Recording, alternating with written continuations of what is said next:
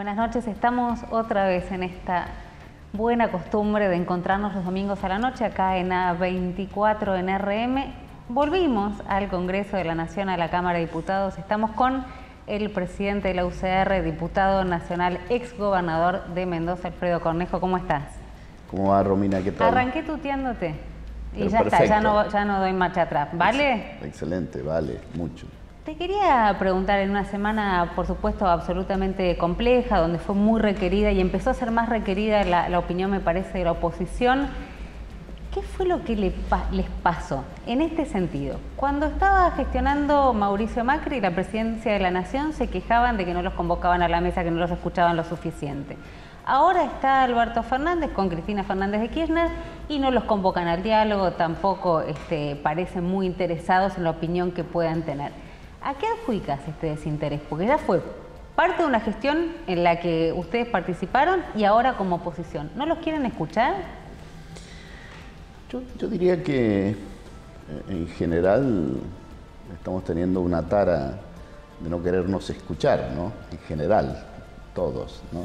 Este, eh, poca tolerancia al que piensa distintos, pasaba antes y pasa ahora, ¿no? No, no, no creo que sea... ¿Pero vos coincidís conmigo de Ernesto, digamos? Sí, sí, que hay poca vocación de, más que de diálogo, de escucharse, ¿no? Porque para dialogar primero hay que escucharse, hay que tener, este, hay que...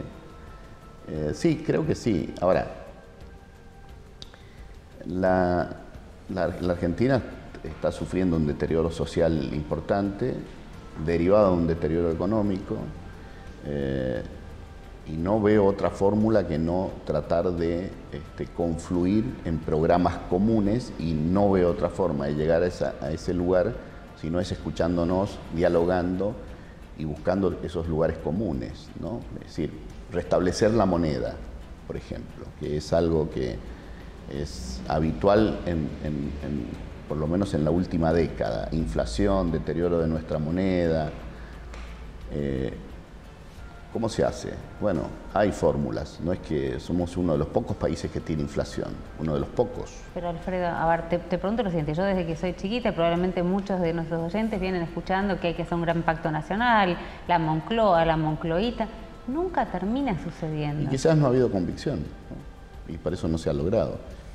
Y también creo que no nos hemos escuchado lo suficiente. Y creo además que el signo de estos tiempos, ¿no? Eh, hay, un, hay una chatura generalizada en la dirigencia política, sindical, empresaria.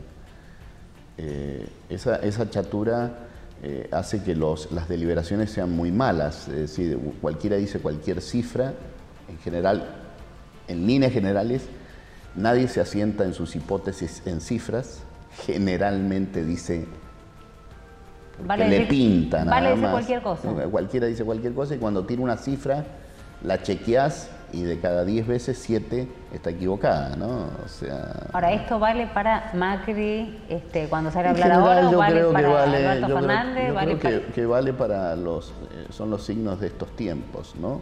Eh, poca profundidad eh, y esto requiere mayor profundidad en la deliberación, requiere solvencia técnica en las cosas que hay que hacer en materia económica, en materia social, eh, y, eso requiere gente bastante más preparada de la que estamos teniendo en la dirigencia política, en la dirigencia empresaria, en la dirigencia sindical, eh, pero no vamos a llegar a eso, no vamos a mejorar la deliberación pública este, si no nos lo proponemos, y cada uno, nadie tiene rechazo, no hay un chequealo.com eh, de cualquier bolazo que cada cual diga, nunca la deliberación va a mejorar este, los estándares de, debate público. Hablabas recién de, una, bueno, de unos tiempos muy complicados, esta semana fue particularmente complicada con este, los dos desalojos digamos, este, que, pusieron en el centro de la escena el tema de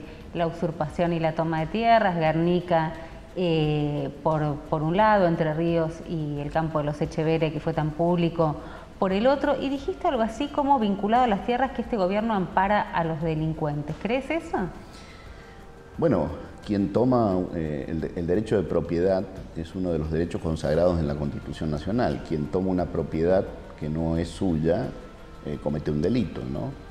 Y el gobierno nacional y el gobierno de la provincia de Buenos Aires eh, han tenido actitudes por lo menos ambiguas o confusas. Pero a ver, cuando vos, cuando vos decís esto, ampara a los delincuentes, ¿es lo mismo Bernie que Larroque, que Kisilov, que el propio presidente? que Frederick, digo, todo lo, ¿todos amparan o hay sectores del gobierno que amparan? bueno, justamente, son dos preguntas. Déjame terminar la primera. La primera, la primera es un gobierno que tiene, eh, eh, que genera confusión. Hay funcionarios, dos funcionarios, eh, secretarios de Estado, que estuvieron en, en, los terrenos de Echevere. Estuvieron, objetivamente. Visitaron los que tomaron e-, ese lugar. en Garnica hay funcionarios acusados por Berni, entre otros, dijo, los ha promovido gente del gobierno, dicho por Berni. todas esas versiones generan confusión, generan confusión. Ahora, a mí me parece que lo que está confuso es cuál es el programa del Frente de Todos. El Frente de Todos tiene un programa político muy claro, creo yo, que es concentración de poder, tener a todos agarrados este, y comiendo de su mano, gobiernos nacionales, eh, gobiernos provinciales, municipales, sector privado. Pero tiene un segundo punto ese plan político. ¿Cuál es? Ese, ese plan político es mantener la unidad de frente de todos a como dé lugar. Y ese mantener la unidad incluye adentro lineamientos muy disímiles. Conviven el que toma las tierras, como Grabois, este, con sectores del gobierno que rechazan ese tipo de acciones, como Vilma Ibarra, como la ministra de Justicia, que es evidente que no están de acuerdo con la toma de tierras conviven posiciones tan distintas, pero privilegian estar unidos. Y eso, por momentos, eh, este, lo que hace es generar una falta de expectativa, de rumbo, de rumbo en el gobierno. Pero Alfredo, no quiero dejar de lado lo que recién remarcabas, que el gobierno tiene prácticamente como rehén a todos los sectores. ¿De qué manera? Bueno. ¿Pero es esto lo que estás diciendo? Tal cual, tal cual. Son rehenes. Sí, ¿en qué punto? Eh, en primer lugar, la Argentina entró a la cuarentena. Eh, primero, esto ya ocurrió en el gobierno de Cristina. Eh, el, gobernador Scioli de la provincia de Buenos Aires, los ocho años, tenía que venir a pedir recursos al, al, gobierno central para pagar sueldos los 12 barra 13 con el aguinaldo los 12 meses del año. Eso ocurrió y ocurría en los ocho años de Cristina. En el gobierno, eh, este, eh, en la actualidad, cuarentena de por medio, nosotros entramos a la cuarentena sin ahorro, público ni privado, entramos con una moneda muy deteriorada, es decir, prácticamente sin moneda, y entramos sin financiamiento. Financiamiento genuino, cuando hablamos de financiamiento genuino, eh, omitimos la emisión de dinero pero la verdad que la única fuente de financiamiento concreta que tiene la Argentina es emisión de dinero. En el gobierno la única herramienta que tienen es emitir dinero.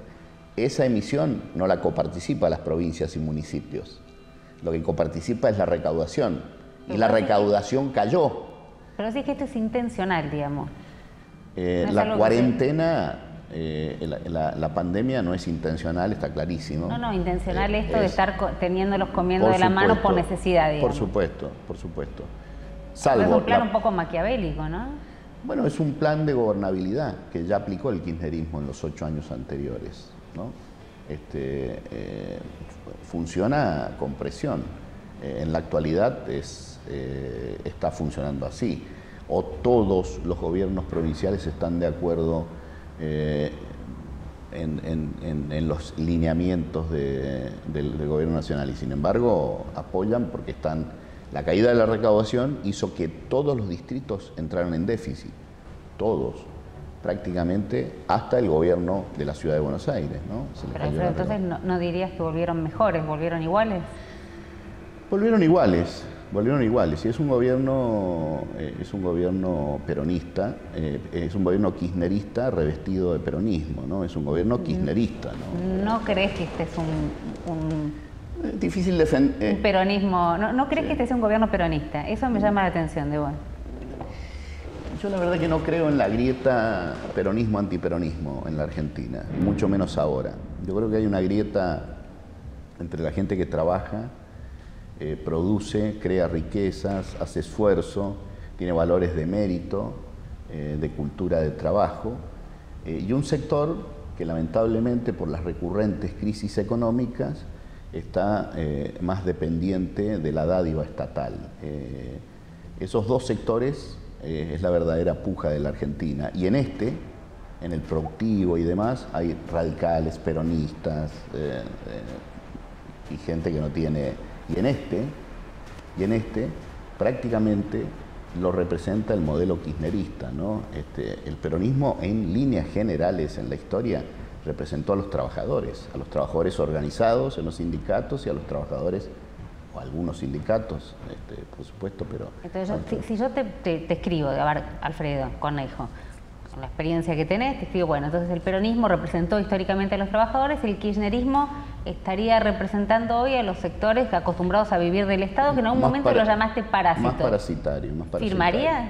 Sí, sí, sí, sí, yo creo que sí, yo creo que sí. Más parasitario eh, en este hay empresarios, trabajadores, trabajadores pobres, trabajadores de sectores medios. En este hay gente que depende del Estado, pero también hay empresarios. ¿Ese cuál es? El, parasitario. El, kirchnerismo. Eh, el kirchnerismo parasitario. Sí, claro, también el, kirchnerismo.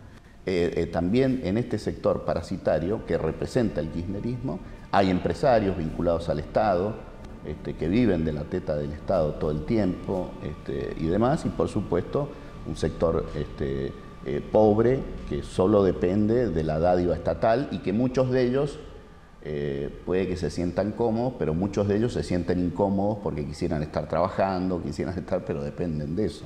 Ahora, si ese fuese, digamos, entiendo y es el análisis. Eso es una grieta, creo que es la verdadera grieta de la Argentina. Y, creo que hay que blanquearla, porque esta estupidez de que es peronismo, antiperonismo, o, me parece que no nos, no nos contribuye en nada. Están los que trabajan, los que no trabajan, y el kirchnerismo alimenta a los que no trabajan. Correcto. A expensa de los que crean riquezas, porque los que crean riqueza, un trabajador que genera riqueza, un empresario que genera riqueza y demás, este, el sistema tributario, el sistema eh, detrae recursos y lo asigna en parte a sostener esta estructura parasitaria. ¿no? Ahora, no sería, yo siempre digo, trato de pensar en el que vota, ¿no? Eh, también sería, digamos, en tu concepción, otra vez rehén de fueron a votar a esta fórmula porque sabían que necesitaban de un Estado que les iba a terminar dando de comer? No linealmente. Yo creo que caer en esa simplificación que Alberto Fernández, que todos los sectores trabajadores de cultura del trabajo votaron a Macri y todos los sectores parasitarios votaron a Alberto Fernández sería una simplificación ridícula que no la suscribo en lo más mínimo, al contrario. Mucha gente de trabajo y de esfuerzo votó a Alberto Fernández, mucha gente. Eh, ¿Por qué la votó? Por múltiples razones, las motivaciones del voto son muy diversas. Entre ellos fueron el fracaso económico anterior. ¿no? Este, que vos te despegaste, digamos, a finales del gobierno de Mauricio bueno, Yo señalé dos años antes eh, algunas cosas en de materia de estrategia política que era errada eh, y que no íbamos a obtener resultados económicos. Y al principio de la gestión fui de los muchos que, sostuvimos que había que eh, detallar la herencia. ¿no? Es decir, en el 2015 nosotros asistimos a una campaña eh, muy populista de los tres candidatos, de Massa, de Macri y de, y de Scioli. Los tres dijeron, la Argentina está mal, uno decía, está muy mal, el otro decía, está mal, el otro decía, bueno, están mal algunas cosas, Scioli, eh, pero los tres confluían en que ellos lo resolvían en seis meses, en un año, generando esperanza, lo que les recomienda a los marketineros, eh, los tres decían lo resolvemos y la verdad que la Argentina no se resuelve en un gobierno y no se resuelve de un momento para otro. Eh, la Argentina este, requiere un shock de confianza, capitalista, democrático, de confianza, con por lo menos dos décadas de crecimiento dos décadas de crecimiento. Estamos en una urgencia, me imagino también de vuelta los que están mirando y dicen dos décadas, Cornejo, estamos mañana, digamos, por la séptima bueno, es que, yo reconozco... Van a llegar a fin de año con un 50% de indigencia y pobreza. Romina, exactamente, toda esa descripción es correcta, toda esa descripción es correcta, solo que este, acá hay un punto. Eh, nadie le dice la verdad a los ciudadanos. ¿Y cuál es la verdad hoy? que esto que requiere sangre, sudor y lágrima y que requiere un plazo largo y sostenido de hacer una política sensata en Pero materia con un 50% de indigencia y pobreza te quedas sin la población en cuánto? Bueno, con la mitad de la población vas a ser Pero la pregunta no es esa. Si es, si, la pregunta es si por este camino este, generamos expectativas que en seis meses lo resolvemos. Una cosa es resolver el hambre eh, momentáneo de las personas que están pasando, la están pasando mal y otra cosa es resolver un problema sistémico que nos dé un sendero de crecimiento para que esa gente realmente salga de la, pobreza. Acá la clave es crecer. La clave es que la Argentina crezca. Incluso yo no suscribo los ajustes, eh, todo ese, ese mensaje de que acá hay que hacer un ajuste solamente y que eso resuelve los problemas. Yo creo que hay que hacer un ajuste, pero en el marco de crecer. No es lo mismo que el país esté creciendo al 2,5, 3% durante 3, 4 años y vos vayas ajustando los gastos del Estado en el medio de ese crecimiento, que querrás venir a hacer un ajuste furioso de shock para luego, después de ese ajuste, eh, después de ese ajuste, tener crecimiento. La verdad, ese gap no existe. Entre otras cosas porque hay mucha pobreza, entre otras cosas porque lógicamente. ¿no? Ahora, Alfredo, recién hablabas de, las tierras, que por supuesto estuvimos, me parece que toda esta semana fue uno de, los grandes temas. Pregunto, ¿la oposición no se monta una nueva, una reedición de lo que fue la campaña del miedo de que ahora van a ir por tu propiedad privada? Digo, para lo que es el electorado de Juntos por el Cambio, eh, van a ir por tu propiedad privada, van a arrasar con, lo, bueno, con la institucionalidad y generar otra vez miedo, o son hechos que pueden estar digo, empujados por la necesidad, pero no es que mañana van a ir por tu casa, por la mía, por los country, qué sé yo. Bueno, a ver, pueden pasar una ah, cosa... ¿Están aprovechando un poquito esto o no? Yo creo que no, eh, al menos no es mi caso y no, no lo percibo así, pero a ver, la cultura de, estos tiempos, la, cultura, la cultura eh, eh, política, ciudadana, la generan los gobiernos eh, con menos o más poder y el entramado de, actores sociales, eh, etc. Alfonsín, en el 83, creó una cultura más liberal, democrática y demás, e influyó sobre los dirigentes políticos, influyó sobre Cafiero, eh, que desplazaron a Herminio Iglesias, por ejemplo, al principio. El kirchnerismo ha creado una cultura. Este, los Grabois, eh, generan símbolos. Todo, es culpa de Grabois. Digo, no voy a salir yo a defender a Juan Grabois, ¿no? Pero la verdad es que se le adjudica una responsabilidad a Juan Grabois que parece que tiene tanto más, o tiene por ahí tiene tanto poder y realmente no lo sabemos. Poder simbólico, tiene un poder simbólico importante. Eh, yo no demonizo a las personas, como no me gusta tampoco que me demonicen a, a mí, ¿no? Como tampoco demonizo al periodismo ni a los medios. Que en algún momento íbamos a caer los periodistas. no, falla, en 50 minutos siempre caemos en algún momento. No, no, no, pero no. A mí me parece que es un entramado de distintos actores los que generan cultura cívica, política y demás. Eh, Grabois ha sido un personaje empoderado por la cultura kirchnerista que se generó en esta última década y media. ¿En qué sentido? Eh, representante genuino de los pobres. ¿Quién no se sensibiliza por la pobreza?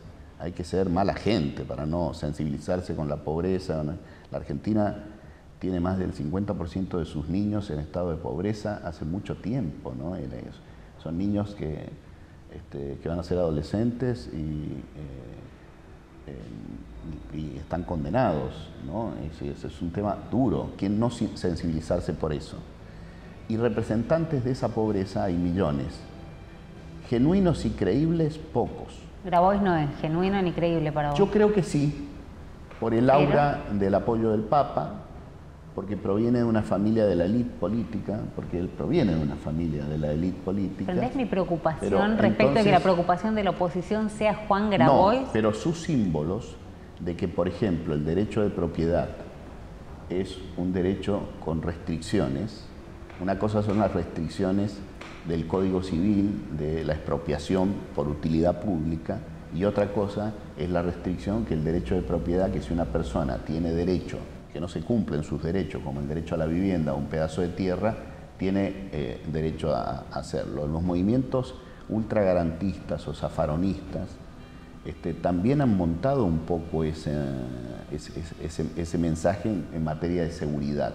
Toda persona que es vulnerable socialmente, que está excluido de la sociedad, el sistema penal tiene que ser más benévolo con él cuando comete delitos, aunque sean graves porque es una persona excluida. Son mensajes muy peligrosos que, este, que complican los valores de la convivencia democrática, en paz y demás, tanto uno, el, de la el derecho a la propiedad, como el otro. Y en ese sentido, todos esos movimientos, Zafarón, de y de, eh, como los de Graboy y demás, han tenido muchos adeptos en la academia, en los medios de comunicación, en los partidos políticos, en los sindicatos, en las, y han creado una cultura que la verdad que no tiene mucho que ver con el sistema capitalista democrático al que aspira Alberto Fernández cuando habla que quiere ser Suecia, Noruega o Finlandia. Pero entonces Grabois representa a quién dentro del gobierno? ¿A Cristina? Sí, yo creo que sí, que representa más el pensamiento kirchnerista eh, de que el Estado eh, debe tener una prioridad por sostener eh, a, esos sectores y no importa si alguien, porque para sostener a esos sectores, Grabois nunca le va, nunca le vas a escuchar una definición como la que voy a decir yo.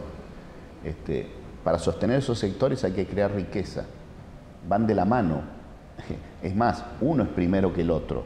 Si no hay un sector que cree riquezas, no hay chance alguna de, por ejemplo, eh, sostener un plan alimentario para los eh, niños que este, están pasando hambre. Si no hay alguien que cree riqueza y el Estado inteligente y no uno bobo con intervenciones inteligentes, ni la liberal que el mercado no tiene que aparecer, ni la ultraestatista que, que tiene que hacerse cargo de la producción de todos los bienes y servicios, ni una cosa ni la otra, un Estado inteligente debe ir equilibrando con impuestos ayuda a los sectores eh, más, eh, más postergados, desde luego, ¿no? como, este, un imperativo moral. Pero, por ejemplo, el impuesto que viene con imperativo moral a las grandes riquezas o el tributo a las grandes fortunas, ustedes no quieren saber nada. Pero a ver, Romina. Eh, Estamos en pandemia, pasa en Europa, los liberales europeos lo están haciendo. Acá no. Acá otra vez vienen a meternos las manos en el bolsillo. No tantos, pero a ver. Eh, tu programa invita a una reflexión más profunda y eso es muy bueno, es un gran aporte a la opinión pública. Muchísimas gracias. Entonces, ¿por qué creo que es interesante desarrollar estas, estas ideas? A ver, eh, el impuesto a la riqueza es puro cuento. Eh, primero que se dice que es por solo un año. Los verdaderos sistemas impositivos progresistas en el mundo, entre ellos en Estados Unidos, se afincan en el patrimonio y no en el consumo. Los sistemas regresivos se asientan en el consumo. Esa persona pobre que dice representar el kirchnerismo paga IVA este, eh, de la misma forma que una persona rica. Pagamos lo este, mismo. Pagamos lo mismo. Entonces es regresivo. Este, eh, el empresario eh, con mayor patrimonio paga lo mismo que esa persona pobre en el supermercado. Contribuye, y ese, el, IVA, es el que financia el Estado. Eh, ganancias, bienes personales, que son los patrimoniales, inmobiliario en las provincias, patente o automotor en las provincias, son impuestos súper bajos, así, como es en Estados Unidos o en los países europeos. Inmobiliario, los autos de lujo, los yates, los este, pagan. Los que tienen más pagan más. Patrimonialmente. No por el, no por el. ¿Se entiende?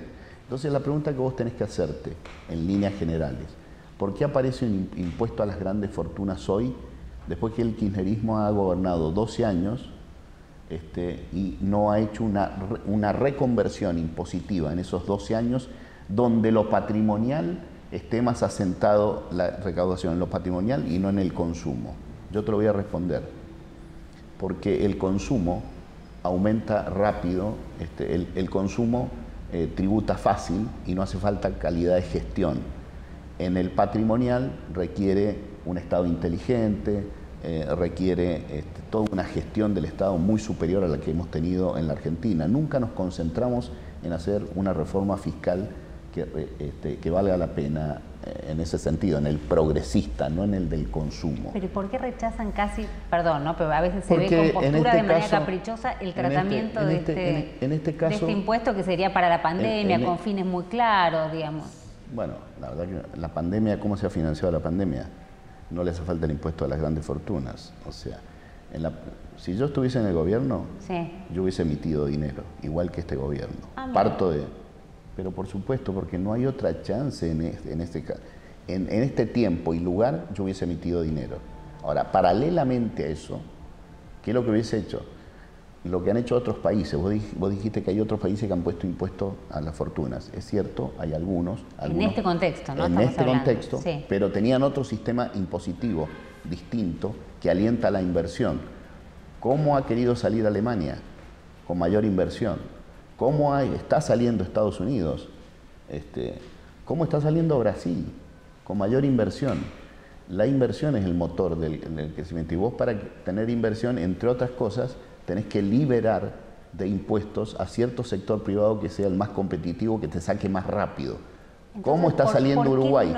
¿Por qué, no? lo hace el gobierno? Porque tiene una tara ideológica. ¿por, qué no, ¿Por qué no quiere la oposición acompañada? Ah, es una doble imposición. Sí. Eh, Pero no, no querés, digamos. No, no creo que sea la, solución. Es decir, se ha, se, ha, hecho un cuento de esto. Yo le saco a los ricos, es un, Robin Hood, para darle a los pobres porque tenemos la pandemia. La verdad que buena parte de, primero, lo que se va a recaudar es una cifra eh, muy menor que es inferior a lo que se va a gastar si se aprueba la reforma judicial, por ejemplo.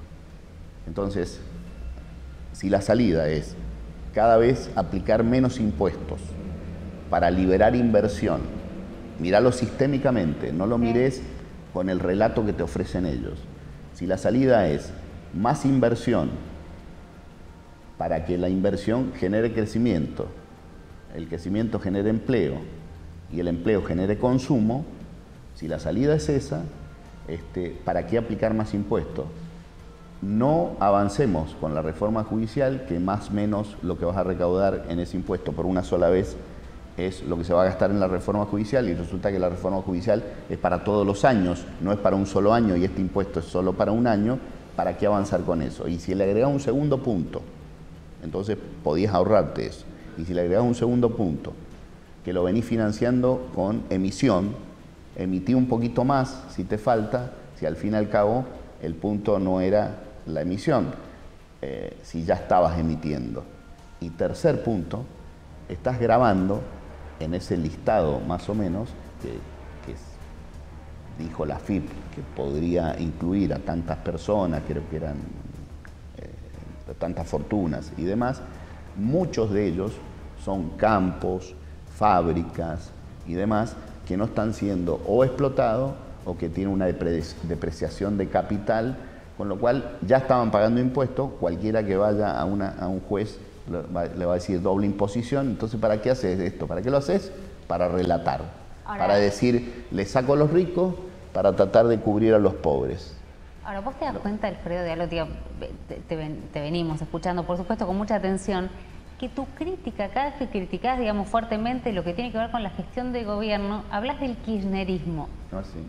Como si por momentos pareciese que quien está al frente, digamos, de la primera magistratura no fuese Alberto Fernández, sino Cristina Fernández de Kirchner. Yo no quiero volver a esto porque es remanido, pero te escucho y es la crítica es al kirchnerismo, es al kirchnerismo. o sea, ¿vos realmente crees que la injerencia de Cristina es tan fuerte? Sí, yo creo que sí. Eh, no lo sé si queriendo. Eh, ¿Cómo? ¿Cómo? no sé si realmente quiere... ¿Cómo te metes tanto sin querer? Bueno, justamente, si vos analizás la carta, que yo no, no, quiero darle más trascendencia que lo que la carta tiene, pero si vos analizás la, carta donde ella eh, dice que el que manda es el presidente y demás, cuando alguien tiene que explicar, yo nunca me imaginé, o sea, primero, nunca pensé que Cobos podía hacer una carta explicando que Cristina, ¿no? Eh, o Rukauf eh, explicando que el que mandaba era el presidente del momento. Sea, Cristina, teniendo que explicar que el que manda es Alberto, lo que está haciendo casi es diciendo que no manda Alberto. Eso está diciendo. Exactamente. Yo no me lo imagino a Scioli explicando que, que, no le hablaba. que Néstor eh, era el que mandaba y él no. Y así sucesivamente. Te puedo poner a Víctor Martínez que el que mandaba era Alfonsín y no él, ¿no es cierto? Es decir, eh, bueno, eso ya, ya, es muy fuerte. Muy Pero Alberto Fernández. Y si Alberto Fernández todavía lo asume como tal. Como un apoyo, dijo dice, él. Dice, me está apoyando. ¿Por qué te está apoyando? Si no quiere, eh, ¿Pero qué crees que pasó ahí? Porque recién hablabas de... Yo creo que ella tiene mucha influencia... yo creo que tiene mucha influencia culturalmente. Primero que creo que ella puso el capital político más importante del frente de todos, es decir, él es la que más aportó, ¿no es cierto? Ahora, eh, este, este vaso de agua, si vos querés rebalsarlo, eso puso Cristina, pero el resto, si lo querías rebalsar, que era ganar la elección, este, lo puso Alberto. Entonces Alberto tiene que hacerse valer por eso, porque si no, no hubiesen rebalsado el vaso de agua, no hubiesen ganado. ¿Vos crees que así como hablabas de la figura, digamos, del ser rehén por necesidad, Alberto Fernández hoy es rehén de su vicepresidenta? Probablemente... Eh, por esto que decís, ¿no? Sí. Probablemente Alberto crea eh, que le debe más a Cristina de lo que en realidad le debe. Y me parece que acá no hay un tema de lealtades personales. Yo creo que hay un tema de país. A vos te han elegido con un mandato y tenés que olvidarte de Cristina. Tenés que olvidarte, tenés que, el mandato cuál es es mejorar la economía. Alberto Fernández, Macri hubiese sido reelecto si hubiese tenido un desempeño económico mejor del que tuvo en el 2019, que fue todo en caída. ¿no? ¿No crees que tiene Alberto Fernández margen hoy, como está, en la situación en la que está, para olvidarse de Cristina? Yo creo que sí, eh, y, y que puede hacerlo sin entrar en pelea con Cristina. Fíjate vos. Sí, lo que llame mañana y le contás cómo, porque debe querer saber. Bueno, con gusto. Pero, a ver, eh, yo creo que si se pone un horizonte. le marcó la cancha, salió, puedo decir, el frente de todos necesita la unidad, salió a patear, me parece fuerte el tablero. Frente de todos, lo que te dije anteriormente, déjame seguir este razonamiento. ¿Te estoy interrumpiendo mucho? Perdón. No, perfecto. Dale, El frente de todos. Sí eh, privilegia la unidad y tiene que privilegiar un programa, tiene que tener un programa, un plan. Y en base a eso construir la unidad, no a la inversa. Bueno, pero contarnos a nosotros, ¿cómo hace Alberto si quisiera Yo Alberto creo que si tiene un programa y tiene un plan... Este, depende menos de... Depende menos de Cristina. Y depende menos de Cristina y creo que Cristina se vería obligada a acompañarlo. Hoy no lo está... Bueno, Lilita Carrió fue bastante dura, casi habló, digamos, que está tratando de esmerilar el poder por no decir, de, generarle casi un golpe. Eh, yo creo que tiene una... yo, no diría que está... Eh, que tiene un plan de fragotear contra Cristina, contra no sé Alberto. qué fragotear, perdón. Fragotear es eh, golpe, un golpe, generar un golpe, ah. digamos. Fragote es... Eh, bueno, no la tenía, dale. Eh, la vamos a revisar después, a ver si estoy equivocado. Chequealo.com. Por, eso, hay, alguien que nos chequee porque la verdad que no la había escuchado, pero dale. Fragote. Fragotear para no decir, le estás pero vos crees lo que, dijo Cristina, lo que dijo eh, Lilita. Lo que dijo Lilita. Yo no, ¿Lo compartís? No, veo que eso esté pasando por eh, exprofeso por Cristina, pero sí, sí creo que indirectamente ocurre porque tienen agendas paralelas. Eh, Cristina está más preocupada por sus temas judiciales y Alberto, lógicamente, está al frente un problema enorme, que era una economía que no funcionaba bien, vino la pandemia y él eligió una estrategia de cuarentena, muy cerrada y por mucho tiempo. Y ese problema, ese problema, este, eh, en el que está sentado Alberto, eh, eh, bueno, Cristina no lo tiene, no, no, tienen la misma agenda. Y si a eso le agregás que el Frente de Todos privilegia la unidad por encima del programa y el programa ese no aparece, reformas laborales, reformas impositivas que promuevan la inversión, este, eh, equilibrio eh, eh, de, las cuentas, etcétera. Si vos ves eso, bueno, vos decís, este, no hay programa, lo que hay es unidad, pero no hay programa. Ella convoca Termina ella indirectamente fragoteando, con lo cual Lilita tampoco dijo... No digas más fragoteando hasta que no chequemos si... está, bien fragoteando, está bien fragoteando, vamos a seguir con fragoteando entonces. A ver, pero lo, que te quiero preguntar, digamos, en, este momento, yo entiendo, ella convoca un gran acuerdo. Vos primero, la carta, digo, para hacerla corta, no le creíste. No yo creo que sus convocatorias al diálogo y al acuerdo nacional... Sí que ella hace, que es la gran novedad de esa carta, porque el resto es más o menos la historia conocida, el lawfare, eh, las tres certezas. Menos, los funcionarios que no funcionan. Los funcionarios que no funcionan, sí es cierto, sí, sí. Bueno, pero en general, en general, este, eh, la, novedad está en el, en, el llamado un acuerdo nacional. Cristina nunca ha creído mucho en eso, ¿no? Es decir, ella ha impuesto su, eh, su, su visión del país eh, con mucho fracaso, ¿no? La verdad que... Este... Pero sos presidente de la UCR, otra vez, digo, en esto donde se apoya parte del oficialismo cuando los critican. Los, eh, reformas judicial que se niegan, digamos, a, tratarla sin siquiera haberla leído. ¿Los convoca Cristina Kirchner? No le creo. No, ¿cómo que no? No, no vos dijiste no, le, no le creo la convocatoria. No, no, pero dice reforma judicial, ¿cómo que no lo leímos? Sí, sí, sí, la leímos. Sí. De hecho, está acá en Dijeron sin leerla, salieron a, rechazarla como chicos caprichosos. Eso dijo el gobierno, eso dijo el gobierno. Eso dijo el gobierno.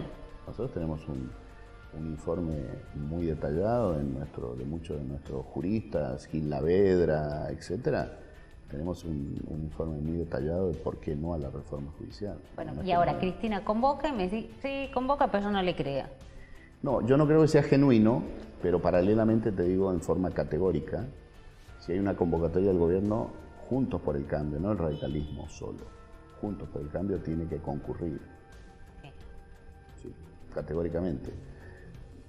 Solo te digo que me parece que no es genuina, pero me parece a mí. Bueno, si después se concreta y te convocan, te dice, bueno, ¿cómo, eh, ¿qué tienen para proponer? Mira, nosotros creemos que es imprescindible que dejes de lado la reforma judicial, que dejes de atacar los jueces este, independientes, que no este, garantices el derecho de propiedad, que eh, este, armes un programa, un plan económico, lo pongas sobre la mesa y discutámoslo a ver cómo lo consensuamos para ver si damos un horizonte de dos décadas de crecimiento y demás. Tenemos que estar, tenemos que estar, tenemos la obligación de estar, no podemos rechazar un convite serio, concreto y demás. Permitime sospechar que sea genuina la convocatoria de Cristina y además debo decir que creo que es obvio que tiene que convocar el gobierno. Y el gobierno es Alberto y Cristina. Así convoca, es, difícil de pensarlo, pero no convocaría a Cristina. Eh, en la carta convocó ella, pero debería convocar el gobierno. ¿Y una convocatoria de ella irían como, como parte yo del creo gobierno? Que, yo creo que sí, pero la verdad que, a ver, eh, eh, Romina, los principales instrumentos de política económica, nuestro diseño constitucional es muy presidencialista. Por eso creo que Alberto tiene muchas chances este, de imponer, si tiene un programa, de imponérselo, de imponérselo. De su salvoconducto para dejar de ser rehén de Cristina es tener un programa. Tener un programa, exactamente. Para mí ese es el, título madre de todo esto. Si él tiene un programa, le impone a Cristina y acuerda con la oposición. Este, y, se lo. Eh, que tener un programa sólido, solvente, serio, eh, y eso me parece que funcionaría, este, eso funcionaría. Estamos a solo un año, todavía ni siquiera cumple un año de gobierno, ¿no? Le quedan tres años de mandato, con lo cual, este, si yo estuviese eh, un opositor especulando, la verdad, esto le convendría a la oposición que fuese al final del gobierno, pero la verdad que no creo que le hace mal al país y que, que vale la pena ser opositor de un país que está barranca abajo todo el tiempo. Ahora, fuiste muy duro en la crítica a la gestión de la pandemia que hizo este Alberto Fernández, ¿no? Casi como, no sé si dijiste que no había sido un estadista o que no estuvo a la altura de los estadistas. ¿Por qué? Pero a esto le pasó a los, a los grandes estadistas del mundo, por ahí te pueden gustar más, tampoco supieron, digamos, cómo, en un principio, cómo enfrentar este desastre. Ah, bueno, los grandes estadistas del mundo se han tenido buenos resultados. Merkel, eh, los países. ¿La segunda ola? Pero es que la segunda ola también va a venir en la Argentina, y creemos que no va a venir en la Argentina. En la Argentina va a tener una segunda ola. Primero acá... acá ¿Qué hizo mal? ¿Qué hizo mal? Por eso, un, estadista, un estadista eh, no, no vende humo y después ve qué hace. Y eso fue lo que hizo el gobierno. No te quepa la menor duda, es el relato del impuesto a las grandes fortunas. Inventemos, todo, relato, todo relato. Obviamente, todo es símbolo. Eh, este, saquémosle a los ricos para darle a los pobres. Porque si esa fuese la, la solución, puta, ¿por qué no lo resolvieron antes tantos gobiernos, incluidos los kirchneristas? No es así. Una improvisación inicial, ¿no? De que no viene el virus, todo eso, pero dejémoslo porque ya parece cuento viejo ya de que ha pasado hace que se yo cuándo. Pero ha sido hace muy poco. Eh, un estadista es el que primero dice, ¿cómo entro yo a esta pandemia si no tengo ahorro, ni público ni privado? Si no tengo financiamiento y si tengo dificultades con mi moneda. ¿Cómo entro? Bueno, hago cuarentena, después veo de dónde lo saco. Imprimir billetes, emitir. Eh, veo. te hubieses emitido igual. Por supuesto. Ahí con la maquinita estuviste por supuesto, Pero Estoy de acuerdo en estas condiciones y soy realista en eso. Pero si yo soy un estadista, tengo que decir, ojo, que yo puedo emitir un poco, porque se venía bajando la emisión del 2019, entonces tengo un margen, pero en algún momento eso se me va a volver en contra. Entonces, entonces, si yo soy un estadista, no puedo estar batiendo el parche. Prefiero 5% más de pobres que no 100.000 muertos, como dijo él. Prefiero, voy a privilegiar la salud que la economía. Si una persona se muere, eh, si una persona pierde el empleo, se recupera, se, se recupera. Si se muere, no sé cosa. Todo eso fue humo, puro humo, sensiblería, fue atacar bajo, golpes bajos. Todo el que decía lo contrario quería muertos. ¿Quién va a querer muertos? Es como si, ¿quién quiere pobre, eh, pobreza? Salvo eh, un porcentaje mínimo de gente eh, este, egoísta, nadie quiere convivir con pobreza, nadie quiere este, alentar las muertes, es ridículo eso. El, el, tema que un estadista tiene que estar por encima este, no es un periodista. muy convencido de decir, a ver, cuando uno lo escuchaba a Alberto Fernández decir esto, la salud por sobre la economía, este, no tengo ninguna duda que prefiero salvar vidas. Estaba muy convencido de lo que estaba diciendo. Bueno, eh, yo la verdad que tengo, cuando lo veo a Alberto decir una cosa un año y decir otra el, año siguiente sobre Cristina, no veo que sus convicciones estén tan fuertes. Eh, incluso cambia en, todo este tiempo, ha dicho cosas que ha tenido que contradecirse después. ¿no? En un momento dice, ¿por qué habla mucho? Yo también, yo creo, sí, categóricamente creo que es un presidente que habla mucho, en un contexto muy, muy eh, de muchísimo deterioro eh, y no sé por qué se adelanta eh, en, muchos temas, como por ejemplo con la vacuna. Si los grandes este, fondos de inversión, que son los que van a alcanzar la vacuna, los grandes fondos de inversión, que son los que van a alcanzar la vacuna, no dan un plazo concreto. Los científicos más importantes que han creado vacunas no dan un plazo ¿Por qué Ginés y el presidente eh, se ponen plazos? ¿Por qué generan esa expectativa? fíjate que parece cosas, salvando la distancia, esto es más dramático, lo de la vacuna, eh, de alguna forma es el segundo semestre, ¿no? Este, ya viene el segundo semestre, ¿no? Eh, fíjate vos. O sea, ¿para qué generar expectativas? O el de la campaña del 2015. Yo lo arreglo esto. Salimos del cepo, llueven las inversiones. Es muy crítico, insisto, con la gestión de la pandemia. Sin embargo, Alberto Fernández se para y cuando explica, digamos, los números de las provincias que están en la, peor situación pareciese ser que las provincias de Juntos por el Cambio, particularmente Mendoza, no saben gestionar la pandemia. Bueno, eso es o son peores gestionando la pandemia que, frente, que el frente de todo. Bueno, eso es una estupidez que no... Ahí pierde... No, lo dijo, pero bueno, por eso no se pone como un estadista. Un estadista es alguien que dice los números correctos, no lo que le viene a cuento. Pero Mendoza no se equivocó. ¿Vos crees que tomaron eh, Absolutamente. la decisión correcta? y ah. aún así están con un número de casos lamentablemente muy alto. Bueno, pero a ver, a ver. Analicemos la Argentina, porque si no analizamos la Argentina parece que vamos. Y después analicemos Mendoza y AMBA. Y miremos los números. La Argentina está en un ranking muy malo de muertes cada millón de habitantes, con lo cual nadie puede decir que fue muy exitosa la... Él, como habla mucho, dijo, prefiero este, 5% eh, más de pobres que no 100.000 muertos. Resulta que tenemos más de 5% más de pobres y ya llevamos 30.000. Dijo, con Macri, este, eh, eh, con Macri tendríamos 10.000 muertos, llevamos 30.000. Todas esas cosas las dijo Alberto Fernández, no es que no las dijo. Cuando vos ves esa progresión de casos y uno estuvo totalmente cerrado en ambas y el otro estuvo semiabierto, tampoco estuvo totalmente abierto, pero estuvo bastante más abierto que ambas, ¿qué reflexión te lleva? Que la cuarentena no era tan efectiva. No hacía falta cerrar. No hacía falta cerrar tanto.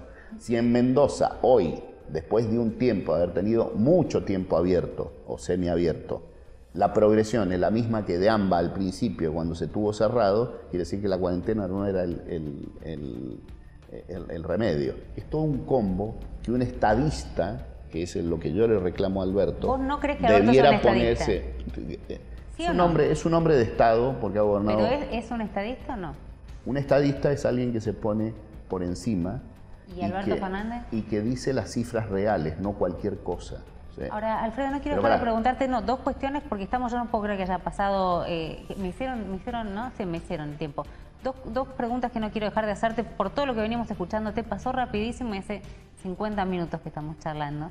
Eh, ¿Vos crees que la reta tiene que sacarse de encima a Mauricio Macri, como estás planteando, digamos, a lo largo de esta nota, que Alberto Fernández tiene que sacarse de encima en estos términos, ¿no? A Cristina Fernández de Kirchner.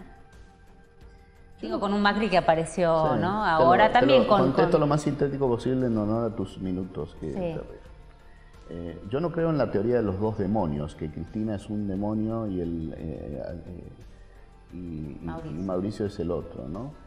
creo que hay diferencias en, los dos, en, en, múltiples cosas. ¿Uno es más demonio que otro? No, yo creo que hay alguien que es mucho más, este, que está más consustanciado con el sistema republicano, que es Mauricio Macri, que Cristina. Y hay una diferencia sustantiva. Ahora, ¿qué es lo que creo yo?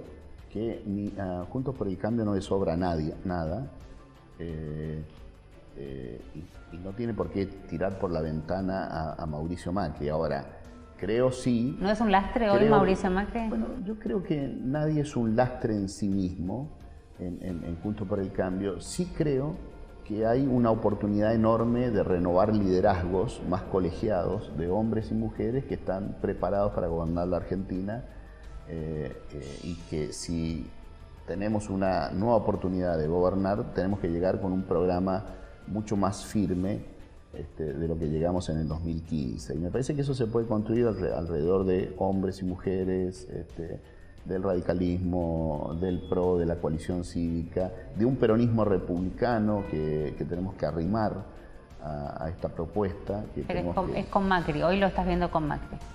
Con Macri adentro. Con Macri adentro. Pero no, este, no necesariamente con Macri a la cabeza de ese proyecto. Alfredo Cornejo, muchísimas gracias por esta entrevista. No nos fragoteemos, está bien, no nos fragoteamos la entrevista, nos llevamos una palabra nueva. Muchísimas gracias de verdad por esta charla con RM. Nos volvemos a encontrar el domingo que viene acá, no sé si en el Congreso, puede ser que sea en el Congreso a las 23 en A24.